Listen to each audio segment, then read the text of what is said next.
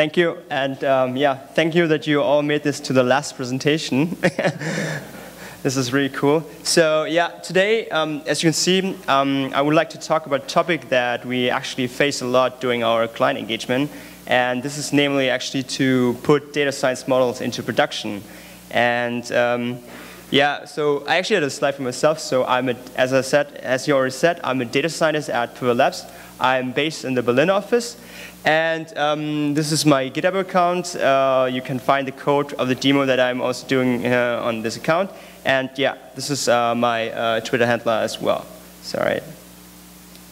Okay, uh, so let's start with defining the problem that we actually have uh, with our clients. So let's say, um, yeah, this, this, is a, this is a uh, full stack data scientist, and um, he has a background in statistics, so looks quite nerdy, right? And um, he's just been hired by a company um, which hasn't had data science before, and um, the company wants to be more data driven, right? So mm, like many companies today, because yeah, you know, data science is cool, big data is cool, right? and okay, what do you first uh, as a data scientist? Well, of course, uh, you start digging in the data, right? So you review the data, uh, you clean the data, and of course, you're trying to create meaningful uh, features out of it. And um, as you can see on this slide, um, the data amount is huge. Uh, so it's uh, heaven for a data scientist. So the next step, of course, um, as a data scientist, is probably you're building a machine learning model, right? So you cross-relate your model, and then you create a, actually you create a perfect prediction model. The question is then, what happens next, right? Usually, uh, at most companies, um, you probably prepare a presentation, and uh, you probably present those findings to your management and your team, right? So uh, who of you actually work as a data scientist uh, in a company? Right, okay, it's not so much. well, of course, I like this picture um, here. Um, they think it's actually cool, so your management likes it. And you show them your results and, um, oh, my mouse. And, and uh, actually, your, your model is really solving a business problem. Oh. After presentation, after your presentation, you're like this guy, you know, like, uh, you know what the Brexit is, right? So everyone probably heard of the Brexit. you heard of the Brexit. So you're super enthusiastic, like Nigel Farage, that uh, your work would change the world, right? And you think that it's just a matter of days that your work will go live and will be used by thousands of uh, users. But like, in, like the Brexit, uh, you face reality. So uh, you realize that it takes some time, right? And, uh, and it's actually a very long time now. So uh, as actually all those guys, they thought that they could go out earlier from, from the European Union, but uh, this is not probably going to happen. Well, yeah, in reality, this is actually what happens. Uh, so at many engagement with our clients, we've seen that uh, all those results that we created uh, are going to be unused. And they're literally thrown into this um, trash can here. So that's why I call it sm smart, because it has many smart results, all right? So what is the problem uh, why models are not being put into production? Well, we've seen that um, data scientists speak different languages. So data scientists speak, for example, R, Python, or SAS, right? Where uh, software engineers, they speak like um, Ruby, Swift, or, or uh, Go. So if you attended uh, Peter Wang's talk yesterday, uh, he already said that data science is not not like uh, software engineering. So this is also here the case. And basically, it's also not about the, a programming language problem, but it's also kind of a technical problem. So for example, as a data scientist, uh, I have a statistic back, I have a background in statistics. So I talk a lot about models and uh, how can I improve them or, or distribution, right? Whereas the software engineer is probably talking about how can I write a test? How can this test pass or not, right? If you ever face this problem. And of course, due to this problem, due to the difference that you have, um, sometimes it takes months until a model is going to uh, be in production because uh, the data scientists have to understand the software engineers and the software engineers have to understand the data scientists. And in many cases, uh, um, models will never go into production at all because uh, they just hate each other. so what is the solution um, to, to this problem? Well, at Pivotal Labs, uh, we basically um, follow an API-first approach. So um, what does API-first mean? So API-first means that you try to wrap everything as an API and create microservices. So um, in this case, for example, you could have, um, yeah, Right, sorry, that's really right. So you could write, you could have a one service that, for example, do the prediction, right? You have one service that cleans the data. You have one service that processes the data. You have one service that, that adds metadata to it. And you have, of course, one service that consumes it. Uh, an example, for example, uh, could be like, for example, Amazon, right? So what, do, what does uh, Amazon do? So they do e-commerce.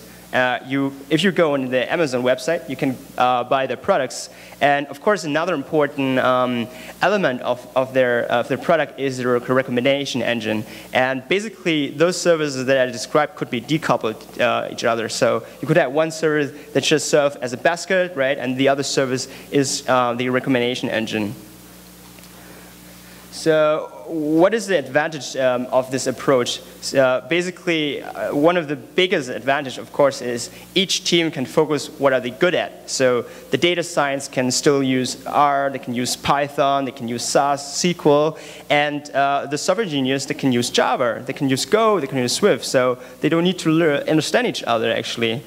Um, Another um, advantage is, of course, scalability. So because you create uh, independent services, um, you can scale them up independently uh, as well. So for example, let's say if you um, start a new startup, right, um, you uh, create a new website, and uh, of course, when you start the startup, you don't have many users. But uh, what happens when you go to TechCrunch, right? So when you attend TechCrunch, you, you, you might get a lot of buzz. And then, uh, of course, if you have this uh, kind of a old architecture, right, uh, it could happen that uh, your, your website would crash. So your customer experience would be quite bad, right?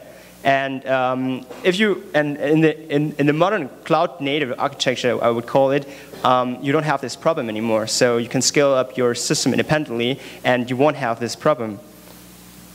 Another uh, advantage is, of course, um, as you can see, since you're decoupling your, your services, uh, each team can work on smaller problems so that they can um, shift uh, the code faster. Uh, now I want to give you an example because, uh, of course, the, this thing that I said before is, yeah, it's quite uh, abstract. So so for this example, I actually will use the famous MNIST data set. So probably all of you know it, right? It's uh, on Kaggle. Um, the data set consists of 60,000 uh, training and 10,000 testing images with a size of 28 times 28. And um, the problem is actually to recognize um, handwritten numbers from 0 to 9. And um, yeah, and um, so the, the demo can be found on my GitHub account. Um, unfortunately, um, I only had two days to do this, so the documentation is uh, still bad. So if, if you have any question afterwards, you can yeah write write me or just uh, yeah come by after the talk. So Okay, uh, usually um, in our data science uh, engagement, we actually have two phases. Uh, one phase is an exploration phase, and the other one is a production phase. So um, during, typically uh, during an um, exploration phase, uh, we actually experiment with a lot of different models and um, approaches to solve our problem. And this phase is usually not test-driven, and we use interactive tools like uh, Jupyter Notebooks or, or RStudio uh, or Apache Zeppelin uh, to create model prototypes or just to get a visual understanding uh, of data like plotting it. And um, in our example, um, the MNIST problem is typically a classification problem, right? Because you, you know the, the, the, target class is uh, integer, right, from 0 to 9, and which basically can solve by many uh, approaches. For example, you can use logistic regression, you could use uh, support vector machines, um, or anything else. And, but in this case, we actually using a deep learning uh, model. So particularly, it is just a multi-layer perceptron, um, and a multi-layer perceptron is basically just a feed-forward artificial neural network and especially good in learning nonlinear relations uh, in the data. So as you can see on this graph here, um, in our case, we feed images of uh, handwritten digits, right, with 28 times 28 in the input layer. Then uh, we will have some uh, couple of hidden layers because, um, as I said, it's a multi-layered perceptron, so um, it's more than one layer, hidden layer that we have. And in the output layer, we will have um, several outputs um, because uh, it's, not a, it's not a binary classification, right? It's a multi-class classification. And um, basically to create our models, um, uh, we will, I use uh, Keras. So Keras is a deep learning library written in Python um, that can be run on top of either Theano or TensorFlow. And Keras is especially um, designed for fast prototyping. And um, uh, if you haven't used it so far, you should check it out. So it's a really cool uh, library. So, all right, let's, let's continue with the demo. So of course, uh, first we load the data. Uh, luckily, uh, in this case, because I was just preparing this demo to show you what API first means, but luckily Keras has already some built-in data sets, so uh, um, including the um, MNIST data set, which actually is, is used to demonstrate Keras capabilities. Um, using this option, we can easily load the data and get the train and uh, test data set, and um, of course, in reality, um, this is not straightforward, right? So normally the data that uh, we get from our client is quite messy, and we actually uh, spend a substantial amount of time to understand the data, to clean the data, and to transform the data. Um, as you can see, uh, in this case, basically what we just did is we, we, we uh, flattened the, the the, the vector, right? And then we did some transformation, like for example, normalizing the feature space to zero and one. Um, as I said, we, we, we get some images, right? So it's in uh, RGB, and uh, if, you, if you know that the intensity is from zero to 200, 255, right? You divide it by 255 to normalize it between zero and one. And this is especially useful because um, if you normalize it, this is faster uh, for calculation in a neural network. So then we finally create the MLP model, so the multi-layer perceptron model, right? So in this case, as I said, we have two hidden layers. Uh, we have dropout at each the hidden layer, and uh, we use ReLU activation. As you can see, the input size is 784. So uh, 784 because um, the image size is 28 times 28, right? So if you multiply it, you, you get 784 because we just flatten the vector. And for the output layer, we use uh, softmax since it's uh, a multi-class problem. Um, if, if you, uh, for example, use a binary classification, you probably would use then uh, a sigmoid function. So afterwards, we train and evaluate our model. Um, in this case, uh, we are using um, accuracy as a eva um, evaluation matrix. So we, the reason why I use accuracy is that the class weren't um, uh, unbalanced, so there were no so they were quite balanced. There were no problems, so that's why I didn't use precision recall and um, basically use batch size of 128 and just uh, 20 epochs, so really standard uh, numbers for that. And also, I did some uh, in-sample cross-validation, and um, the result that I got was pretty good, so was um, approximately 98%. And um, based on the model performance, uh, usually in our engagement, we can actually try to improve this model. Uh, but in our case, the model is already performing quite well, so that we can use it for our for the app, I would say, uh, for our services.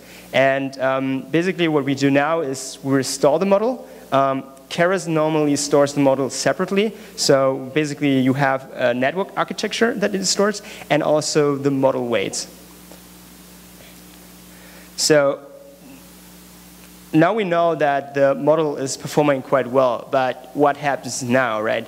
So uh, we, if you if you want to put a data science model into production uh, and want to use it by by users, um, there got to be something, right? Because um, for example, many data scientists just just uh, just try to play around, right? Uh, do some plotting and something like this. It's it's really cool. It's okay, but uh, if it's not used every day, uh, it's going to die anyway, right? So in this case, um, we, we need to think about how to design actually like an interaction point so that, can, that we can use this model or that, that um, users can access, access this model. And um, as far as I said, uh, we've been working with images of 28 times 28, um, which is probably not optimal, right, if you do an app or like uh, if you have a sketch pad in, in this case. So uh, just imagine you have a sketch size of 28 times 28, so it's really small, so you can't draw anything. So it would be probably optimal to increase the size of the images, right, well, the sketchpad where you can draw something. And um, if, having those thoughts in mind, how to actually um, design this app or API, um, it would now make sense to, to, to, to put this into production now. And, and basically what we do at Pivotal Labs is we pair with um, software engineers. So have you guys heard of pair programming? Cool, that's cool. It's a very cool way to uh, write code, so should definitely try it out. So the next phase that we have is called uh, the production phase. Um, at this stage, um, we start to do test-driven development. So, and this is really good because TDD helps actually uh, to keep our code uh, base clean and trustworthy. And the user flow is like this. So we usually we write um, failing tests, and then we make the test pass, right? So and um, and then we refactor our code, and and then uh, this iteration goes again and again until we are satisfied um, with our code.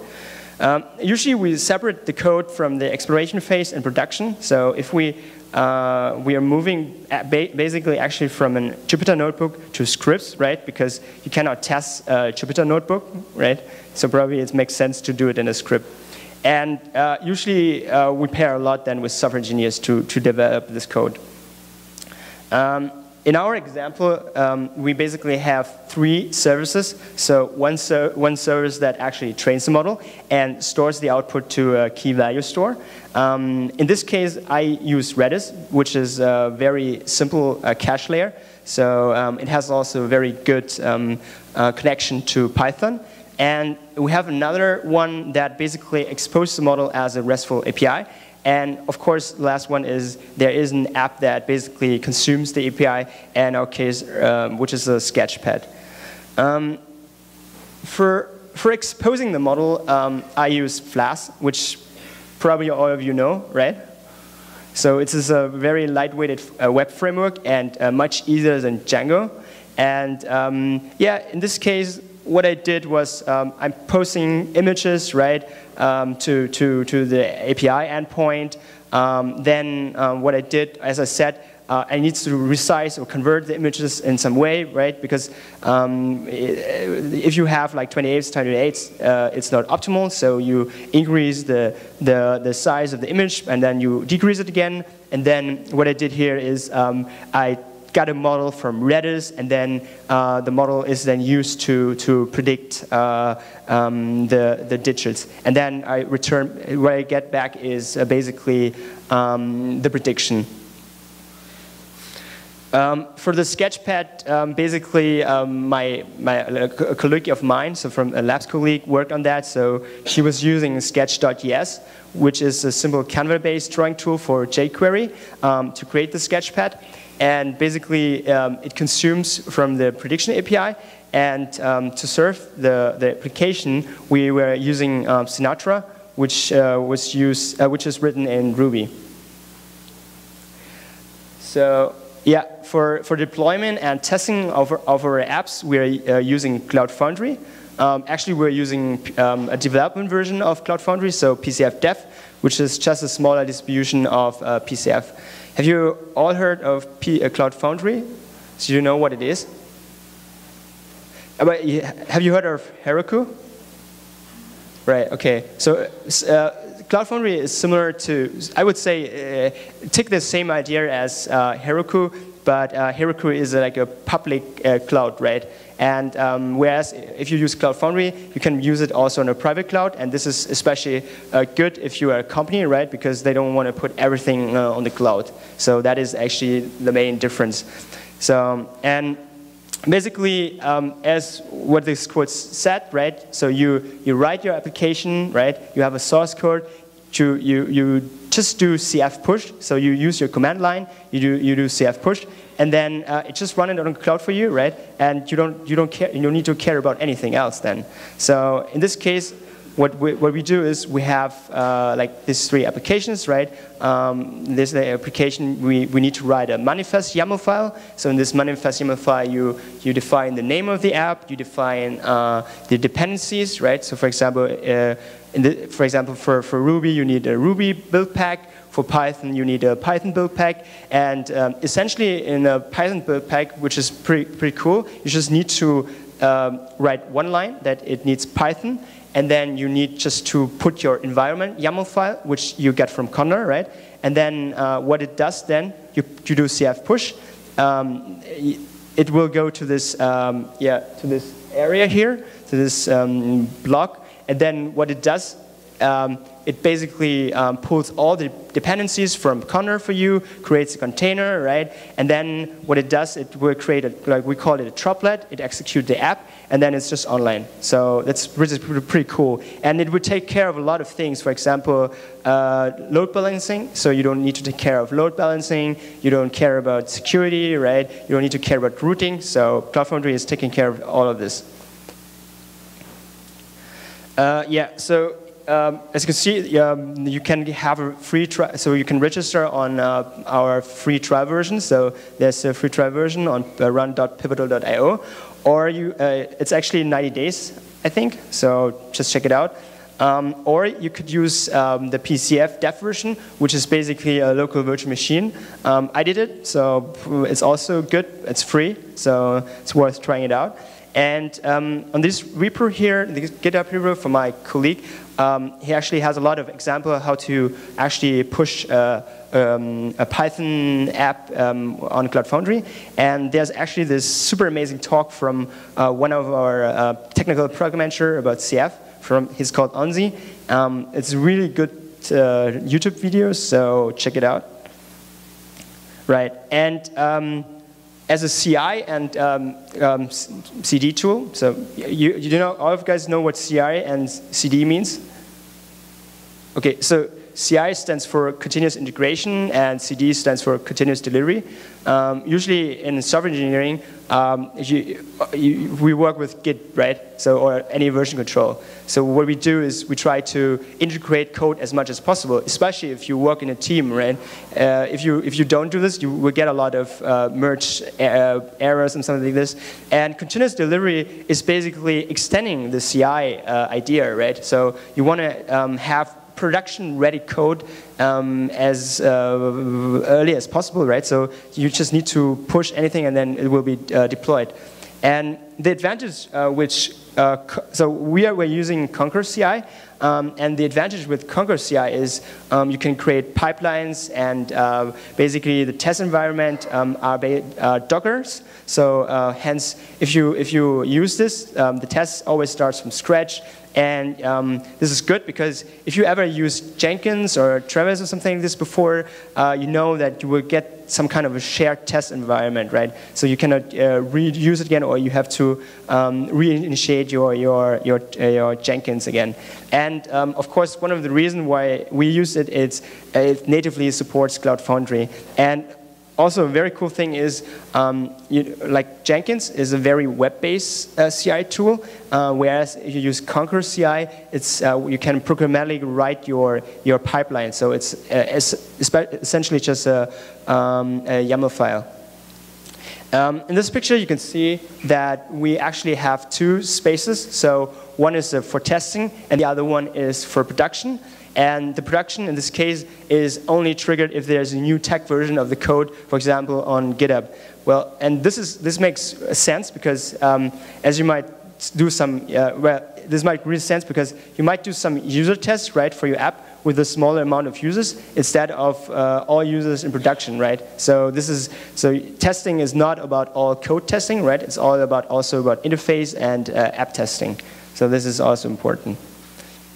Um, yeah, so basically this is a live, uh, this is the app. Uh, um, this is a demo of the app which, I, uh, which is hosted on uh, PWS. So um, I actually can go to this one. Uh, uh, right here. So basically you have four buttons. So it's a marker, eraser, download, and predict. And um, let me also open inspect. Oh man. Okay, this is not optimal.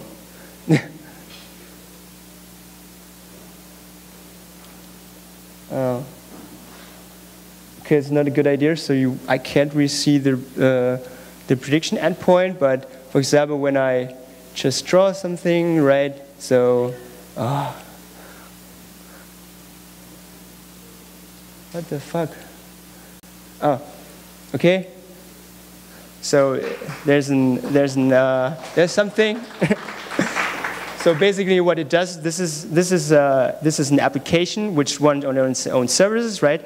And then you have the prediction API, which also is also an independent service. And uh, basically it's just connect to each other. So every time you, you, you write something, you send uh, the picture to the endpoint, right? So it's basically two different uh, services that is running. And you can uh, basically scale it up um, independently, which is pretty cool, right? If you, like for example, have a lot of load in the future, it's uh, elastic, right? So uh, you can scale um, instances if you, want, if you have more uh, people coming to this uh, uh, website. And um, yeah, of course, it's, it's, actually it's not perfect. So for example, I think I always have a problem with four. So, and also my handwriting is not very good, so just bear with it. So if you do predict, okay, this, this was a good thing, I don't know. Because usually when I do four, I, I, sometimes I get a lot of eights, so because I'm not quite sure what's happening. But of course, uh, this was a very simple data set, right? And the model was also pretty simple. Um, actually, if you go into uh, LeCun's website, so he's, uh, he's doing a lot into this area with uh, um, image classification and so on. Uh, you will get actually uh, different models, better models. So basically, uh, you can also use this model Okay, uh, let me go back to my slides. Okay. All right, so this, what are the key takeaways uh, of this presentation? Well, so put models into production, right? Because then they are, then there's a high chance that they are, um, so that they survive and uh, used by users, right? This is uh, very important. Um, try to use API, right? Try to create uh, services because uh, this is easier and um, this is uh, better for, for different teams because they can they can uh, connect to each other without understanding each other. It's like it's like a I think like a relationship between I don't know like a girl and a boy, right? try to, think, find something where you can connect to each other. and um, of course, um, think about wrapping your data science model as uh, early as possible. And um, yeah, of course, so uh, deploy your code as uh, early and as often as possible so that users can test it and give early and regular feedback. Um, use a suitable continuous delivery tool um, that automatically deploy your, your code. So try to do this even uh, if you're not familiar with this. It is really worth it. So um, I'm actually don't, also don't have a background in software engineering, but I learned a lot from my colleagues in, in, uh, at Pivotal Labs. So it's really great. It really helps us to, to write better code and also to deploy things faster. Um, if, you, if you don't want to use uh, Concourses, um, it's okay. There are many other tools outside, right? There are uh, Travis, there are Jenkins um, try out one of them. Um, do TDD. So um, when I started with, with uh, at labs, I was really, really, um, yeah, confused about testing, right? So if you have a background in statistics, you know, you're like, what, what is test? Why do I have to test my code? You know, it's like, uh, why do I need to do that? But it really helped me to to uh, actually improve my code and um, and uh, it's, it's really useful. So we have a lot of uh, blogs actually on uh, Pivotal Engineering about how to write tests. So this is also worth checking it out. And of course, TDD is actually not appropriate for, for all uh, data science phases, right? So I had this um, phase split between exploration phase and um, production phase. So from, from, from, our, from my experiences, uh, TDD is not useful uh, if you are in the exploration phase. So if you're trying to, to uh, uh, experiment and, and, and, and um, with different models and solving your problem, right? And, uh, but it is very useful if you put your code into production, right? Because just imagine if you have to change something later in your pipeline, um, it really improves actually to, to, to, to, to change the code without uh, ha having to worry that something might fail. Uh, and um, yeah, that's it. Thank you for the, uh, yeah, thank you.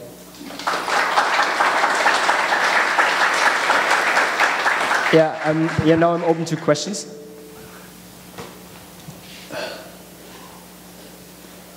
Here first. Uh, there was a talk yesterday on uh, using uh, like uh, a different framework other than like Django and mm. I think it was like Con uh, Falcon or something. That, what? what? Falcon or Co had some like bird name. Anyway, it was okay. it was it was kind of taking the approach of, it, of like when you your microservice starts to get a lot of hits, like particularly the data science thing, instead of like scaling it up yeah. by scaling the number of instances, uh, using like multi-threading basically. Yeah. Um, have you had a problem with that at all, like with uh, too, getting too many hits on your API or? Basically, uh, there won't be any problem because you can scale them up very easily. Because uh, basically what, what uh, Cloud Foundry does, right, you can just do CF scale instances, right, and then uh, they create a, an exact container of that what you did, uh, of, the, of the API endpoint. And if you probably, of course, if you, uh, if you hit like um, some kind of threshold where, where, where things might break, right, uh, what Cloud Foundry does, it, it will restart the, the service. So that's a cool thing actually with this. Uh, hi. Uh, so that, that resonated with me with the whole throwing away models after a few months thing. Um, so my question is like the, the stuff that you showed, have you got like a step-by-step -step tutorial on your GitHub repository? Uh, basically, uh, as I said, the documentation is currently uh, not perfect, so oh, I, I, had limited time. But um, I actually wrote a um, an, like a blog on it. So uh, right. if you Google API, and yep. then first as uh, written, not not API first, and then pivotal engineering block, then you will find something where you, where you can read it. But uh, of course, uh, what I will do afterwards is I try to uh, uh extend my documentation, right? Yeah. So and just quickly, uh, so the app that you showed me, is it running on a free server or is it uh, basically, it's it's running on uh, PWS, which is right. Pivotal Web Service, and right. Pivotal Web Service is as is like Cloud Foundry on AWS, and uh, yeah, okay. right. But of course. Um, you can use your own Cloud Foundry instance. So this uh, Cloud Foundry is open source, right? So you don't need to use uh, the, the product by Pivotal, right? It is an open source project, right? You can uh, download Cloud Foundry and, and also use it at your company. Any other question? All right. Let's thank our speaker, Dat Tran. Cool. Once more. Thank you.